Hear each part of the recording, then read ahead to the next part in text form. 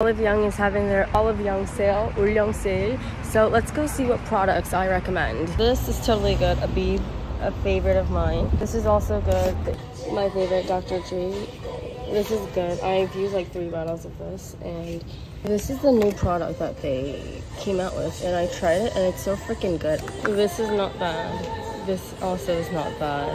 This is good, however, if you can find it in your shade. Love this. I use this every day on a daily basis. It's for your brows. If you are going overseas to swim or whatever, this I totally recommend because it stays in place.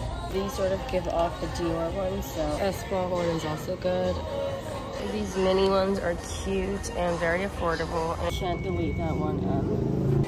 This actually looks really smart because they have this built-in brush on it as well good. I've used this one and this one and it's very good. Love it. I really think everyone uses this, but I don't know if it's good. I haven't tried it, but my friend uses it and it smells really good.